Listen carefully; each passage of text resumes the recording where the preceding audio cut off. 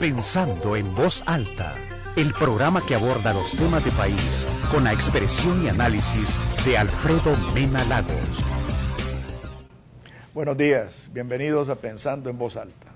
Hoy vamos a tocar un tema eh, de mucha actualidad y de mucha importancia para el país, que es el tema de las modificaciones a la ley de aeronáutica civil.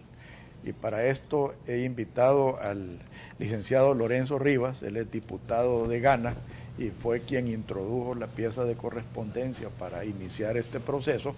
Y también tenemos al licenciado Miguel Ángel Perdomo, que es asesor de la fracción de Ghana y quien es un buen conocedor del tema. Así que bienvenidos. Eh, creo, como dije, este es un tema de mucha importancia, de mucha actualidad y me gustaría conocer, Lorenzo, qué fue lo que los impulsó a ustedes, porque requiere mucho coraje, pues porque están yendo en contra de intereses creados, intereses fuertes. En lo personal me alegra eh, que ustedes lo hayan hecho. Eh, creo que eh, habla muy bien de, este aspecto de, de Ghana eh, y espero que se profundice. Pero, ¿qué es lo que los impulsó a ustedes a tomar esta iniciativa, Lorenzo? Bueno, antes que nada, pues, buenos días a todo el pueblo salvadoreño. Un agradecimiento a usted, don Alfredo, por la invitación a este programa y pues contento por estar pues eh, trabajando en la Asamblea Legislativa. Esta es eh, mi primera experiencia en el órgano, como se le dice, el primer órgano del Estado, la Asamblea Legislativa, donde sabemos pues que se crean, se reforman leyes. Y yo cuando andaba en campaña política, mucha gente me preguntaba cuáles eran las intenciones. Bueno, trabajar por temas importantes del país. Y ya el diputado que de Cabañas, también en el anterior periodo, ya había hablado de algunos aspectos relacionados con este tema. Entonces comenzó a, a, llegar pues al, a tener un poco de eco también en mí eh, considerando, viendo pues eh, en la actualidad que tenemos, eh, que cada día pues hay muchas cosas que van cambiando. Tiene uno que irse mejorando en varios aspectos. Sabemos que tenemos mucha gente en el extranjero. Sabemos de que estamos pensando y hemos escuchado que viene un segundo milenio. Entonces, de cara a esto, ¿qué es lo que hay que poder pensar? ¿Qué poder coadyuvar con esto? De manera que este tema, como ya muy bien usted lo ha dicho, y muchos me, comentaban, no, ahí te vas a meter en algo delicado, cabal, que hay intereses. Pero como yo siempre estoy pensando más que todo en los intereses de la población, en los intereses difusos de la mayoría, eso me hizo pensar y tomar un poco más de espíritu, de conciencia, haciendo algunas consultas también con mi partido, que como nuevo en una legislatura no es tan fácil y uno tiene que comenzar a darse cuenta cómo van funcionando las cosas. Y alguien me dijo también, pero es que mira, vos sos nuevo y te vas a ir a dar, como decimos, en, la piedra. ¿va? Pero no, les digo, bueno, bueno, vamos a, a impulsar esta iniciativa considerando que El Salvador, aquí a nivel de Centroamérica, hay otros que ya lo tienen, y hay que ver también las experiencias, los avances que se ha tenido en, estas áreas. ¿Cuál es el beneficio que ha traído? Entonces, pues, eh, tomamos haciendo algunas consultas también con la Cámara Salvadoreña de Turismo y pudimos eh, eh, recoger algunas ideas también que eran buenas y que estaban... La Cámara de Comercio. La Cámara de Comercio, perdón. Estaba confundiendo con el Comité de Turismo, ¿verdad? Sí, Comité de que Turismo. uno de los que incluso me acompañaron, perdón, una aclaración también, Cámara de Comercio. Entonces también pensando, porque mi departamento, que yo represento, obviamente hay que pensar en el turismo del Salvador, pero yo también estoy pensando en la gente de Cabaña.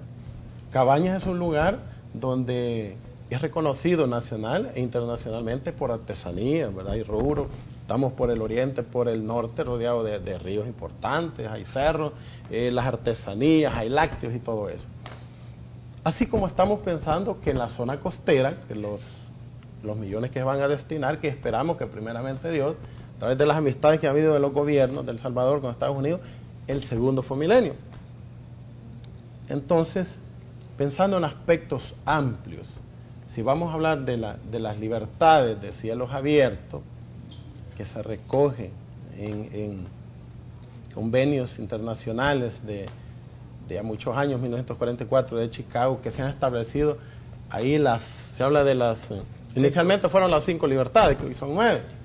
Entonces vemos que ha ido encajando en distintos eh, países, los han ido retomando e incluyendo en sus legislaciones.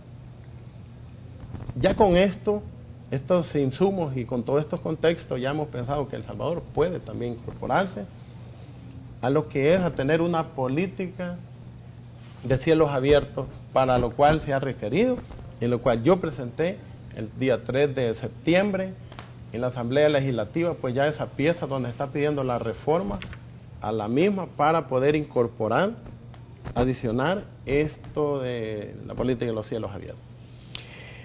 Licenciado Perdomo, usted es técnico en la materia, eh, yo he conocido pues su capacidad eh, y su esfuerzo eh, que ha hecho por estudiar esto.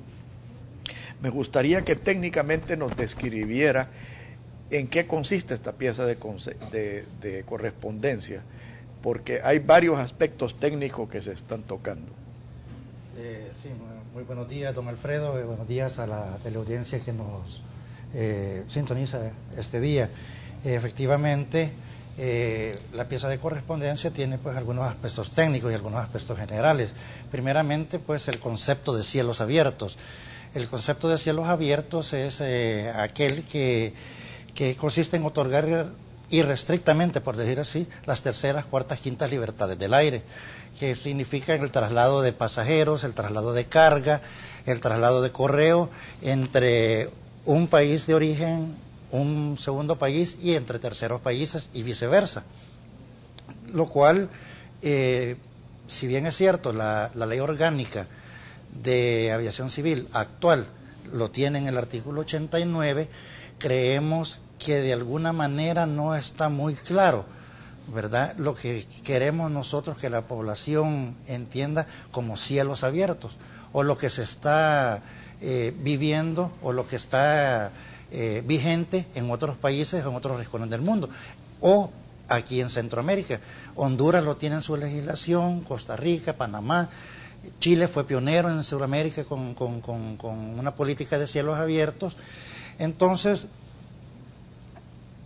los beneficios que queremos nosotros recibir de esta política de cielos abiertos es muy amplia abarcando el turismo, abarcando la movilización de carga, abarcando el, flujo de pasajeros, no solo el que viene y ocupa El Salvador como origen o destino, sino como también de tránsito. Y ahí es donde implica que los aspectos técnicos de esta ley sean más amplios y restrictos, no aislacionistas, no proteccionistas, para que la libre competencia pueda darse en, su amplitud, beneficiando de esa manera a El Salvador.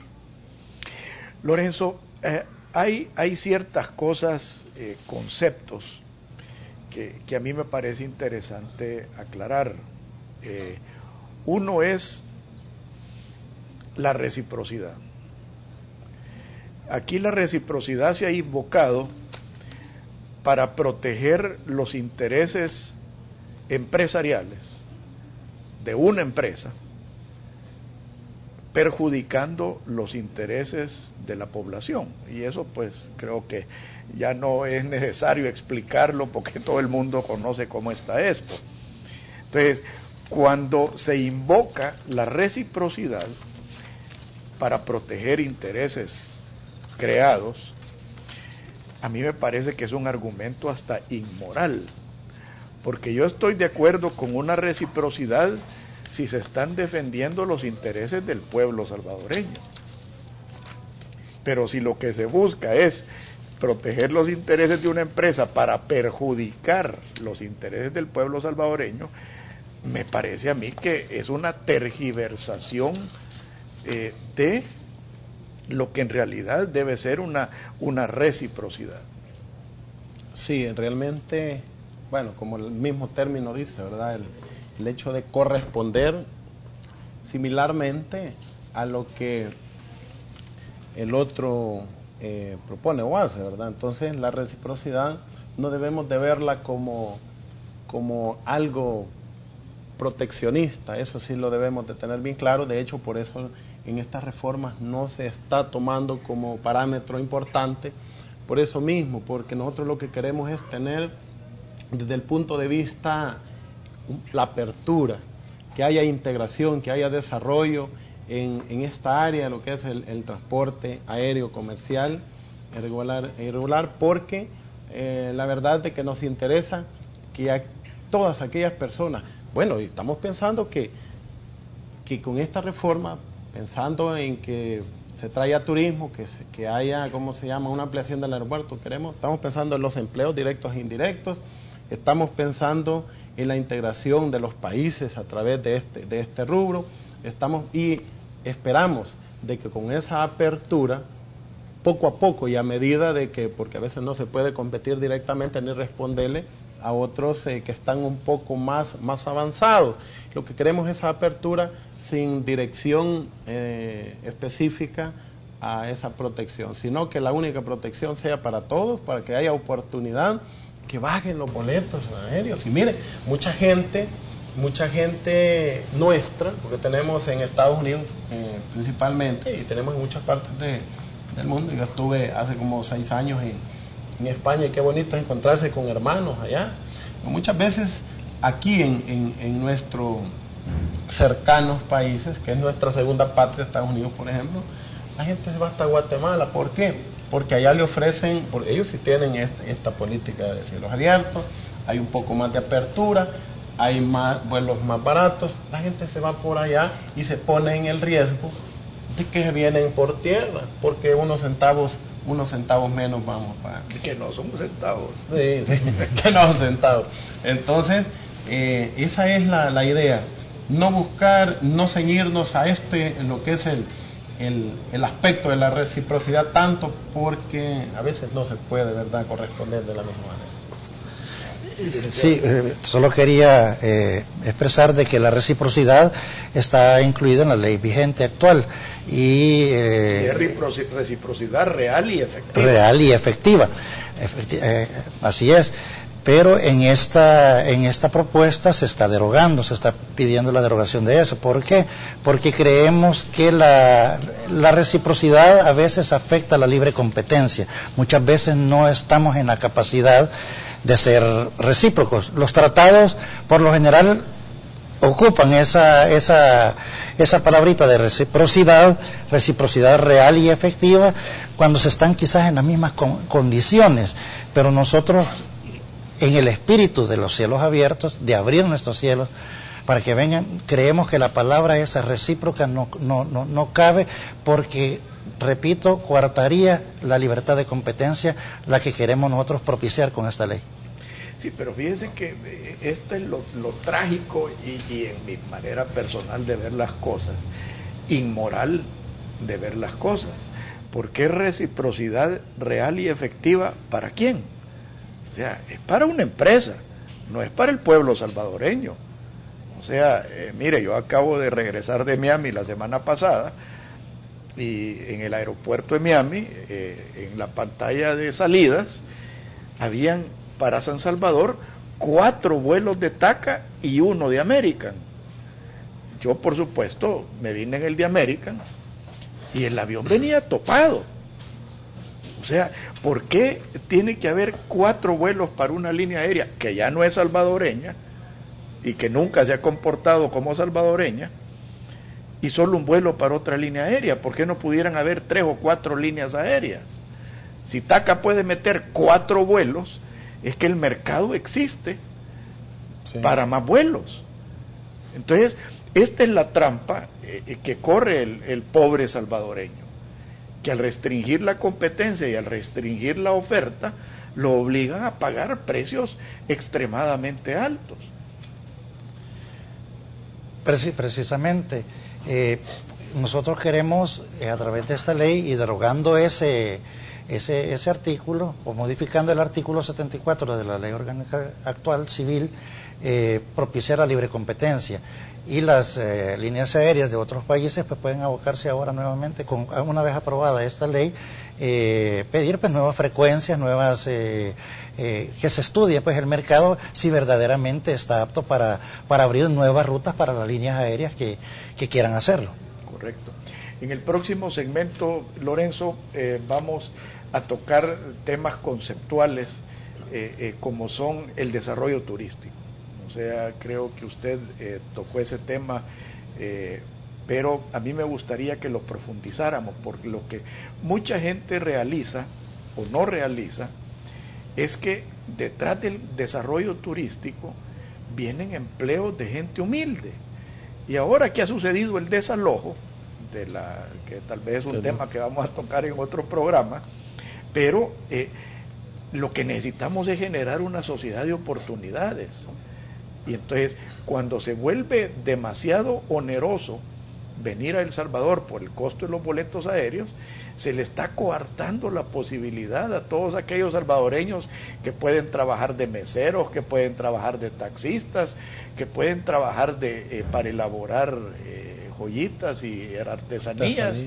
Eh, entonces se está coartando la posibilidad de los salvadoreños a progresar. Y por eso entramos al otro problema serio que tenemos, que es la emigración eh, eh, tan dolorosa, eh, porque en algunos casos es hasta trágica, que se da, por no tener una sociedad de oportunidades. Por favor, no nos cambie, ya volvemos.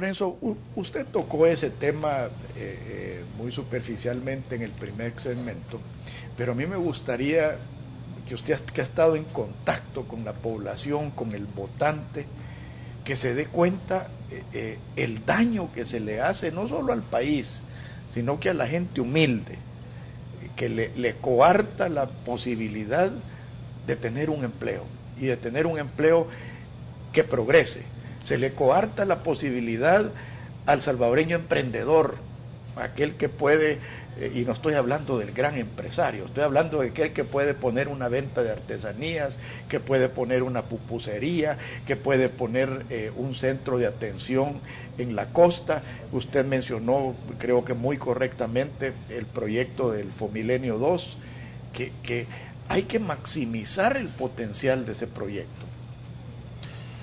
Ese es un aspecto que a mí me ha motivado, de hecho siempre lo dije cuando estaba en la, en la campaña política, que le decía a la gente, uno de mis sueños es trabajar mucho por el, por el turismo.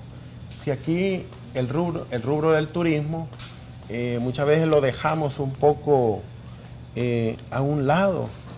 Yo en mi ciudad lamento algunas cosas que, que, se dan, que en vez de poner yo, es un problema que se está dando, que en vez de de implementar eh, técnicas de, por ejemplo, me buscaban jóvenes en, el, en, esta área de, de, danza moderna, yo les decía, miren, esto es importante que lo desarrollemos, lo estoy apoyando.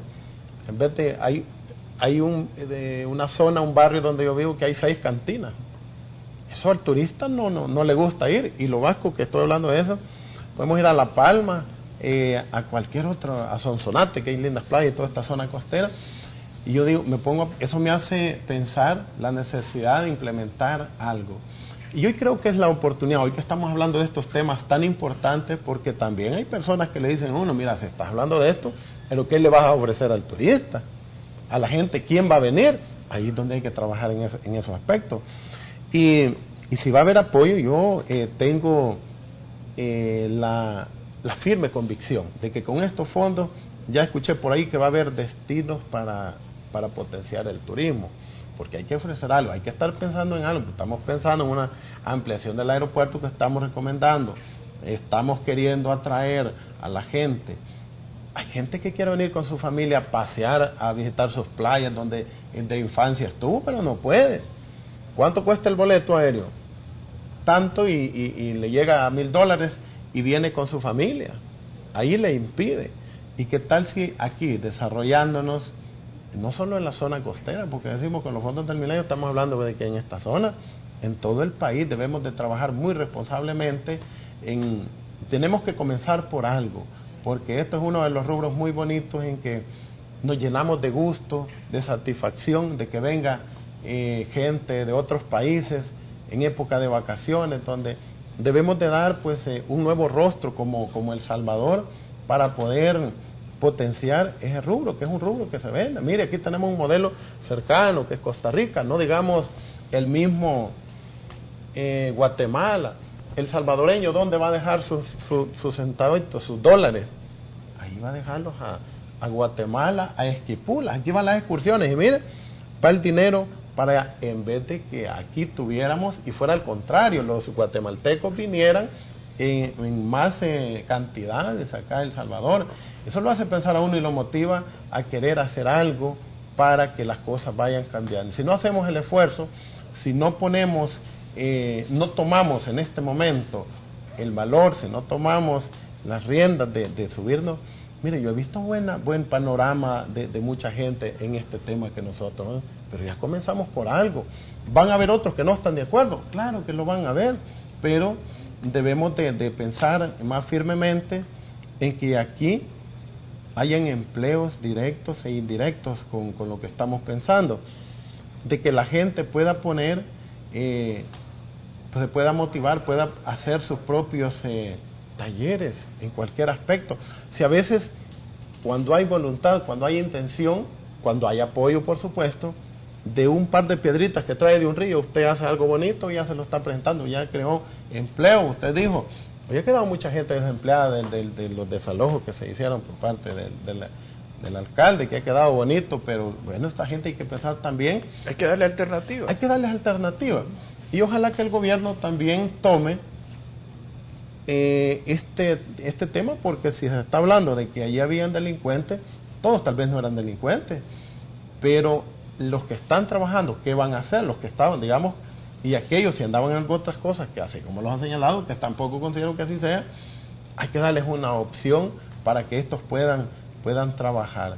Así es de que esto es bastante integral, esta, esta iniciativa que estamos tomando y el turismo pues no ha sido la excepción en pensar de que va a ir también contemplado, eh, que va a ser un aspecto también que va a favorecer, si va a haber desarrollo en la zona costera, no solo ahí. Si hoy tenemos la longitudinal del norte que nos da una conexión, que hay factibilidad para que vayamos a visitar los ríos aquí por oriente, nos vayamos para occidente, hay que pensar de esa manera. Y así hay que vendérselo a la gente, hay que darle esa idea, hay que dárselo a conocer a la gente. Todas estas actividades, el desarrollo que hay, y no solo hablar en mal del país, ¿verdad? Sino que tenemos que también resaltar cosas importantes que se están dando para que la gente venga, pues. Y vamos a tener eh, que haya más apertura de aerolíneas, la gente va a venir. ¿Cuántas playas bonitas tenemos? Yo he ido a otros países pues, y las playas no son mejores que las nuestras. Algo tenemos que ofrecerle y promover más el, turista, el turismo que tenemos aquí desarrollado. Licenciado, una de las cosas que se está queriendo modificar en esta iniciativa es precisamente el rol de la Asociación de Aeronáutica Civil. En el pasado, esta agencia eh, del gobierno ha optado por defender intereses en el lugar de promover un sector. Eh, y eso la misma ley lo permite e inclusive hasta lo impulsa. Eh, está el tema de los permisos, el tema de los horarios, está el tema de las fianzas. hay, hay muchos temas eh, muy específicos eh, en, las, en la Agencia de Aeronáutica Civil que deben de corregirse. Tal vez usted nos puede explicar un poco más sobre eso. Sí, efectivamente, don Alfredo. Tenemos eh, dentro de la propuesta de ley hay un par de propuestas que van dirigidas hacia hacia la autoridad de aeronáutica civil en cuanto a su rol como de regidor de la, del, del, rubro de aeronáutica civil aquí en El Salvador, en el aspecto de los, su, su capacidad de, de, de, de, limitar. de limitarse a las tarifas, por decirlo así en cuestión de los permisos de operacionabilidad de líneas aéreas que piensan en venir a El Salvador. Tenemos también algunos rubros que queremos, nosotros que creemos que en esta ley, como lo es lo del silencio administrativo, que no está contemplado en la ley actual, queremos también, eh, hemos propuesto también restringir un poco las funciones de, del Consejo de Dirección de la, de la de la Autoridad de Aeronáutica Civil en cuanto al voto, el voto calificado del director e-, ejecutivo, de las funciones del director ejecutivo, porque hemos recogido también de parte de, de, operadores y de gente interesada en, la, en, el rubro de aeronáutica civil en El Salvador, de que tal vez la, la, la autoridad esté muy o sobrecargada de funciones. Entonces, en ese, en ese aspecto es que estamos nosotros queriendo no eh, cortarle las alas, por decirlo así, sino que más o menos que, que, se dedique más que todo al, al, rubro de, de, seguridad, de eficiencia, de, de, y, no en un aspecto tan regulatorio como se está dando en este momento. No, yo creo que lo más importante, licenciado, es darle legitimidad a las alas porque yo, creo que la autoridad de aeronáutica civil eh, no tiene que meterse a regular precios, pues, ni tarifas. Eh, creo que eso lo debe poner el mercado y como hemos dicho hasta la saciedad, entre más competencia, más baratos los precios. Podemos nosotros, don Alfredo, eh, decir de que sí, la Autoridad Aeronáutica Civil podría estar involucrada en el tema de las tarifas y todo, pero también tendremos que, tenemos nosotros, y lo estamos proponiendo, que otras instituciones también estén involucradas, como es la Superintendencia de Competencia, ¿verdad? Para que haya un sobrepeso. protección al consumidor. Protección al consumidor. Ministerio de Economía, Ministerio de Turismo. O sea, hay tantas eh, entidades interesadas en que este sector despegue, que, que es para mí imposible de digerir que sea el director de Aeronáutica Civil o un par de votos en la, en la Autoridad de Aeronáutica Civil quienes decidan eh, el, aspecto tarifario de este país. Pero precisamente esa es la intención de la propuesta, de abrir el debate para que se conozca públicamente de cómo ha estado funcionando hasta este momento eh, la cuestión tarifaria, la cuestión de los permisos, la cuestión de, la, de las operaciones aeronáuticas en el país, para que aquellas todas entidades, y se ha abierto un foro, o sea, para que puedan opinar y puedan eh, pedir, pues, o sea, ser incluidos en esta. Uno de los, precisamente el Ministerio de Turismo ha expresado o sea, su, su, intención de formar parte del Consejo Directivo de la Autoridad de Aeronáutica Civil, que en este momento pues no lo es, está Cancillería por parte del gobierno, además del director que lo, que lo nombra el presidente, pero este, hay otros, como dice usted, actores que quieren participar para ver de qué manera beneficiamos, porque esa es la, la, la palabra clave, el beneficio general de la población, de nuestros connacionales, tanto internos como los que están en el resto del mundo, porque tenemos salvadoreños en todas partes, todos los países del mundo y que quieren verse beneficiados de venir a ver a sus familiares o simplemente eh, venir a ver a la patria. Lorenzo, un tema que yo creo que le va a interesar es eh, cuál va a ser la actitud de los demás partidos políticos. Porque hasta ahora yo tengo entendido que el FMLN eh, ha apoyado esta iniciativa, aunque no lo ha manifestado abiertamente, tenemos en el caso de Arena un silencio bastante sorprendente eh, y, yo sí creo que va a ser muy revelador qué partido está a favor de los intereses de la gente y qué partido está a favor de los privilegios. Es bien importante, esa pregunta, don Alfredo, es bastante interesante porque cuando yo introduje la pieza, esa fue la incógnita qué va a pasar, qué van a decir en la comisión, cuál va a ser la, actitud, ¿verdad? Y bueno, ya cuando se presentó, oí algunas, algunos comentarios muy positivos. Por ejemplo, la gente del FMLN, ellos dijeron que les parecía muy interesante, es aplaudible. Incluso dijeron, eso era parte de lo que nosotros estábamos pensando. Y se adelantaron, algo así en ese sentido. Eso es interesante oír cuando una iniciativa capta pues la atención y como que se dijera de una manera de entrada muy bien. Eh, incluso el CN también dijeron que les parecía siempre y cuando sea para aspectos importantes y de beneficio para la gente, porque es el planteamiento y es en esencia. Y bueno, en el caso de Arena, pues eh, se limitó a decir, pidamos informe, por ejemplo, a ATACA, que es la que se ha considerado siempre la, la empresa aérea salvadoreña, que hoy ya no lo es. Sin, comportamiento salvadoreño. sin comportamiento. Entonces, eh, como que se vislumbró un, un, ambiente de, de, aceptación, ¿verdad? Generalizado. Tanto fue así que en ese momento se mandó a, a pedir informes a instituciones eh, importantes y que tienen mucho, mucho que ver con este rubro, ¿verdad? Eh, a esta fecha pues ya se recibieron algunos eh, informes de las instituciones a las cuales se, le, se les envió eh, que virtieran opinión. Algunos han dicho que, que están, están de acuerdo en la mayor parte, algo otros hay detallitos que se puedan mejorar.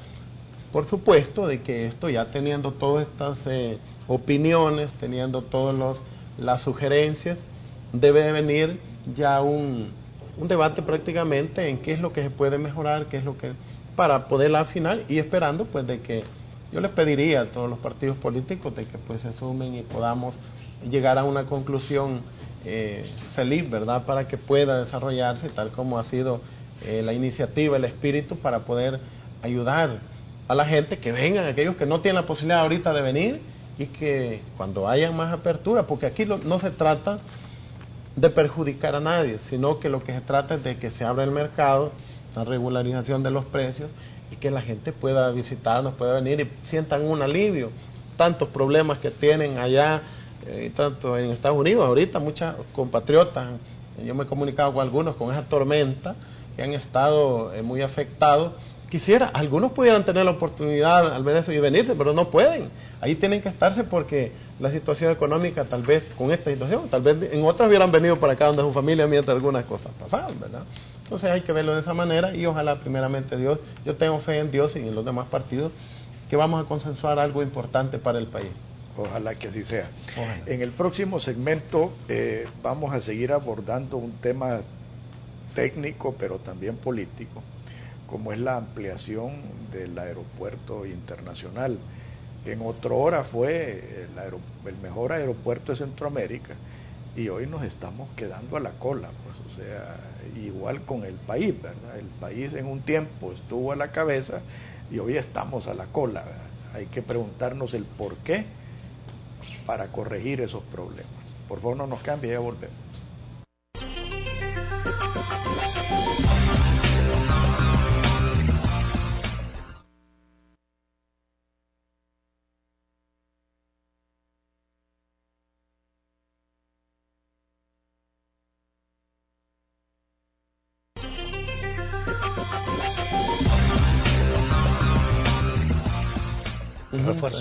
Lorenzo, está el caso de la ampliación del aeropuerto. Yo aquí en este programa tuve al presidente de CEPA, con quien hemos sido amigos de la infancia. Estuvimos juntos en el externado de San José cuando usábamos pantalones cortos y eh, analizábamos el hecho de que El Salvador necesita ampliar y modernizar el aeropuerto.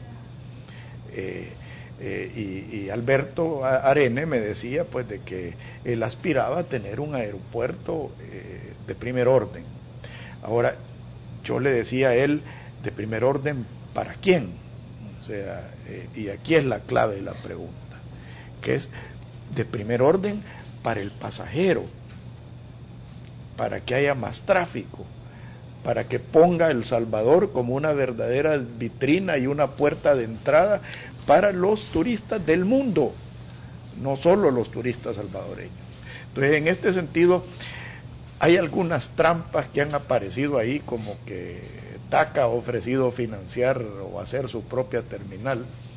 Y, yo sí creo que esto sería muy peligroso, porque, como les digo, este aeropuerto debe ser para todos los salvadoreños, no para una empresa. Lorenzo. Eh, bueno, en la, desde el momento que se ha pensado en esta, este proyecto, digamos, debe de verse también en lo del aeropuerto. No, estamos, eh, no podemos estar pensando en atraer muchas empresas, que haya una competencia importante y el aeropuerto pues no va a ser el adecuado para poder tener esa receptividad y esa salida de los de las eh, de los aviones digamos que van a, a, operar también se ha, se ha pensado y ha habido algunos eh, acercamientos con las eh, autoridades de, CEPA para ver cuáles son las condiciones que se tienen y qué es lo que puede. Por supuesto que para eso se necesita plata. Se necesita dinero y ya pues ya se la cantidad que se ha hablado que puede estar destinada para eso pues tal vez no es la la indicada, no es la suficiente, pero ahí es donde se debe pensar. Y seguimos pensando en, lo, en los fondos del milenio, ojalá que primero Dios que así se pueda destinar algo para eso, esa es la, ilusión que se tiene y ojalá que sea. También se ha, se ha sabido, o las propuestas que tiene la empresa este, que era salvadoreña, que ya pretenden hacer su propia terminal. Visto desde ese punto, pues eh, ya si es de una empresa que va a manejar un, un, un sector, digamos, un punto en el, en el mismo aeropuerto, tal vez no sería, lo importante es que sea igualitario para todos, tener algo adecuado para todas aquellas empresas que quieran operar, todas aquellas que puedan eh, integrarse a, a, nuestro país y no sea pues para que no se vaya a ver privilegios determinados, porque lo que queremos es una apertura igualitaria. Eh, sabemos también de que hay una extensión bastante grande de terrenos que son de cepa y que bien perfectamente la geografía permite para que pueda desarrollarse de una manera más adecuada. Se habla que son más de mil manzanas, mil manzanas ¿no? y que el área parece que son eh, alrededor de 200 y algo de lo que está en la estructura. Entonces yo considero de que eso puede ser viable para poder, y uno desde que llega a un país, ver un aeropuerto impresionante, y comienza a sentirse bien, va llegando y se siente atraído por ese lugar, ¿verdad? Y pues la zona que se presta para ello, debemos de, de, de considerarlo eh, muy bien. Así es de que ojalá que, que se vayan dando las condiciones y que, y que se dé también lo, lo, lo, económico para que se pueda, se pueda hacer. En parte de las autoridades, que hay interés también, por supuesto, para que esto se pueda desarrollar de la mejor manera. Por esto yo creo que también el licenciado tiene algunos eh, datos importantes. Sí, licenciado, yo eh, quería eh, apuntarle hacia algo. Uno de los obstáculos más usados para coartar el libre tráfico de empresas es la asignación de las puertas de desembarque eh, de los aviones, asignación de los horarios de llegada y salida. Y en esto no solo CEPA tiene que ver, sino que tiene que ver la Administración de Aeronáutica Civil. Entonces, esta es una parte importante de esta modificación.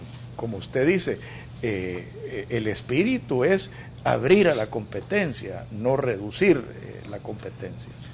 Eh, sí, efectivamente la asignación de, de, puertas, la asignación de horarios, la asignación de frecuencias, eh, pues es compartida entre la Autoridad de Aeronáutica Civil y también la Comisión Ejecutiva de Portuaria Autónoma, CEPA.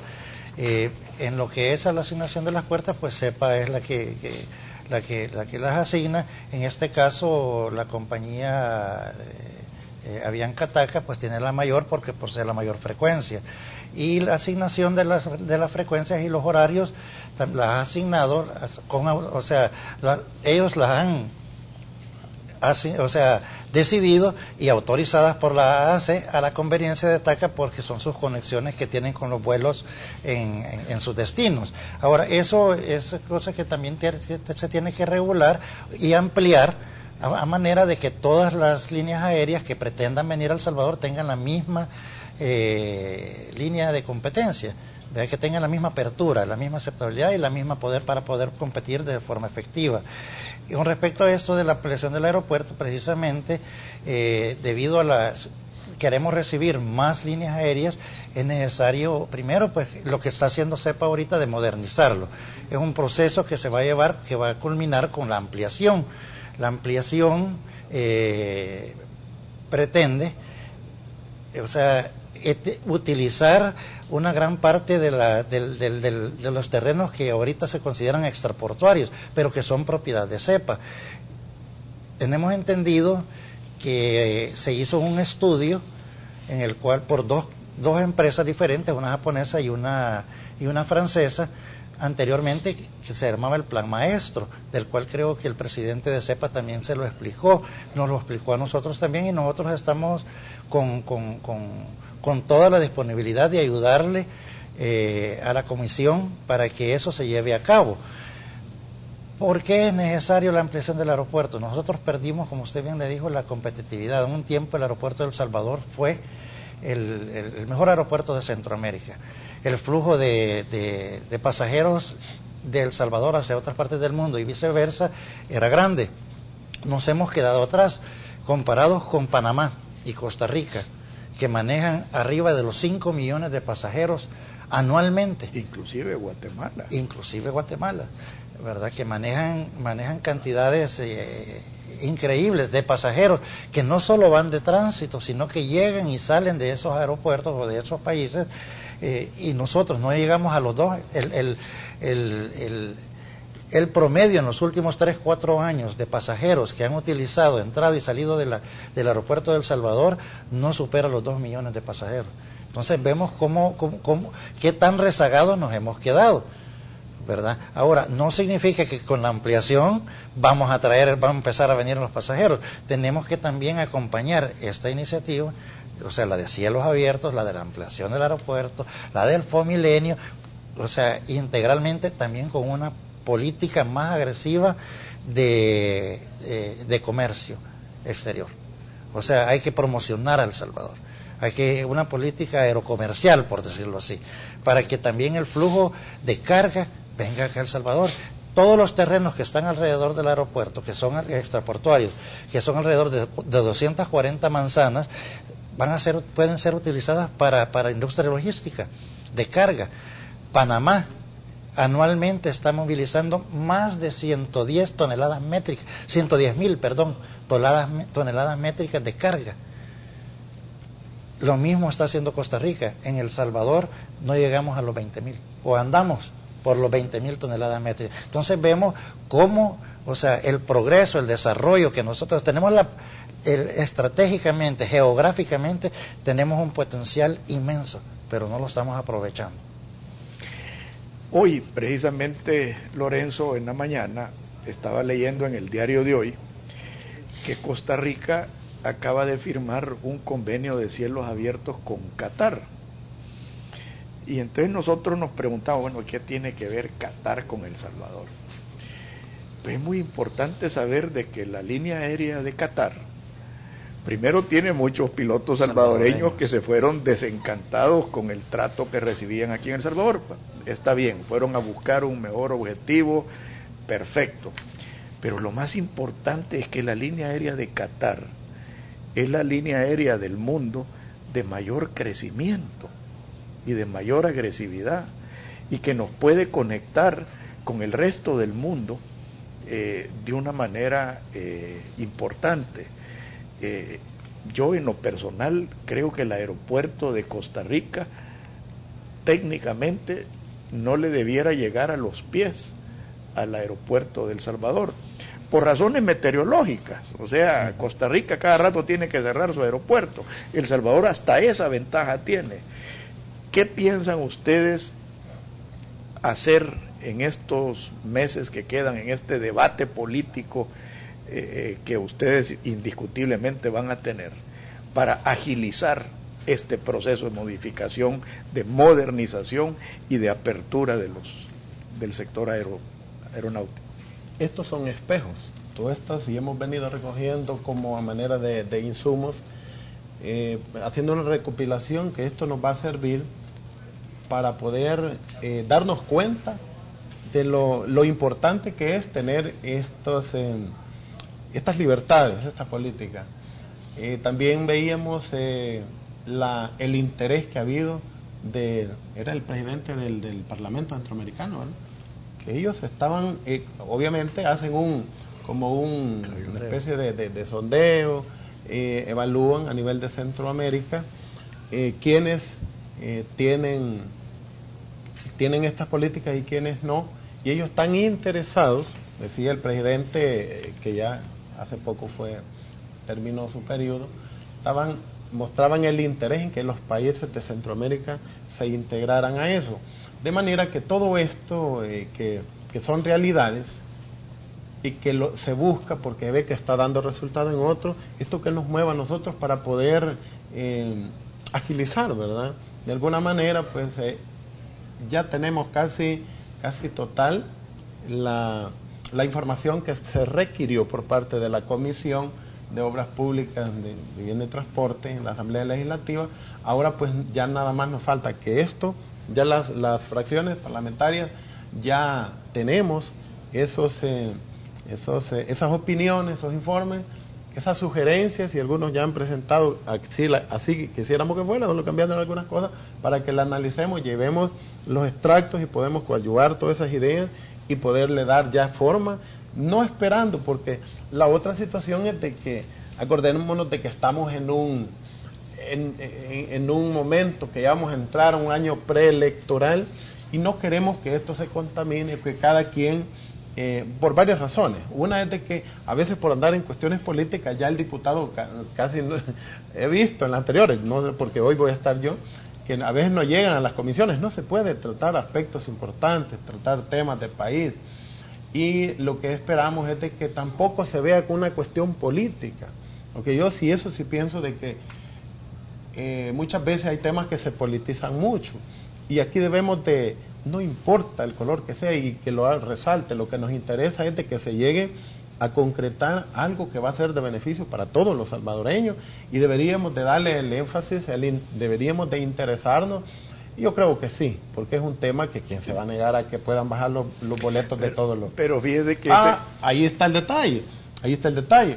Por, hay algunos intereses que pero que podamos sobrepasar. No, pero fíjese que esa es la contraparte del argumento del momento que se está viviendo, Lorenzo, porque para mí un momento preelectoral es importante porque obliga eh, a los políticos, con todo respeto, eh, a quitarse la máscara. O sea, usted mismo lo acaba de decir, ¿quién se va a oponer a beneficiar al pueblo salvadoreño? Entonces, a mí este me parece un momento interesantísimo y yo sí quiero que este tema se vuelva un tema de debate nacional. Y yo estoy de acuerdo con usted, hay que despolitizarlo. Hay que, eh, gracias a la ayuda de personas como usted, licenciado Perdomo, tecnificar el, el, argumento, porque aquí no se trata de perjudicar a nadie, se trata de beneficiar al país, se trata de, tampoco se trata de experimentar, por el amor de Dios, y estamos viendo el éxito que ha tenido Panamá, el éxito que ha tenido Costa Rica, para no irse a otros lados, el éxito que ha tenido Chile con esta política, ¿Cuál es la razón por qué nosotros nos tenemos que quedar rezagados perjudicando al salvadoreño, inclusive el salvadoreño más humilde, eh, que es el que más sale perjudicado con este tipo de situaciones? Y precisamente, eh, eh, don Alfredo, cuando usted habla de líneas aéreas como la de Qatar hay otras líneas aéreas. Nosotros tenemos convenios con países como Emiratos Árabes, que están abiertos, no es, no es de que ya va a venir una, una línea aérea de Emiratos Árabes o una línea aérea de va a sea, pero está abierta y con una línea, una política de cielos abiertos, más países van a poder o más líneas aéreas van a instar a sus estados, a sus gobiernos para que traten de establecer algún contacto con nosotros. Nosotros los que estamos interesados es de que con El Salvador sea una conexión, no solo de pasajeros, también de carga y también de otros eh, eh, eh, productos, una conexión entre los consumidores y los productores, no, no, solamente del sur hacia el norte, sino también de este a oeste. Queremos abrir El Salvador a todo el mundo, tal como lo ha hecho Panamá. Panamá está invirtiendo ahorita más de mil millones de dólares en la ampliación de su aeropuerto. Y aquí nosotros cuando nos presentan una propuesta de ampliar el aeropuerto, de que una ampliación puede costar de 200 a 250 mil, 50 millones de dólares, perdón, nos asustamos. Entonces, ¿a dónde queremos ir? Por eso nosotros hemos tomado la iniciativa, junto con el diputado y, el grupo parlamentario de Gana, de hablar con los interesados, hablar con los actores nacionales para hacerles ver de que nos que cuentan con el apoyo y de que queremos impulsar por el bien del desarrollo del país y por el beneficio social de que esto va a llevar a la población en general. No, mire, y, usted tiene razón, pues, o sea, no, no hay que hablar de Qatar, pues, pero aunque Qatar es un, es un, es un país importante e interesante para El Salvador, pero tenemos a la TAM, que es una compañía eh, chilena eh, brasileña, eh, que es un, es un, puede ser un agente importante en el desarrollo eh, del Salvador. Así que quedamos con asignaturas pendientes, eh, le vamos a dar seguimiento a este tema. Eh, sepan que en mí tienen un aliado por este esfuerzo que ustedes están haciendo. Los felicito y los insto pues a que continúen y agilicen este proceso. Y, pues quedamos pendientes. Muchísimas gracias. Muchas gracias, a usted, don Alfredo. Un buen día para todos. Que Dios los bendiga a todos. Muy buenos días. Pensando en voz alta, el programa que aborda los temas de país con la expresión y análisis de Alfredo Mena Lagos.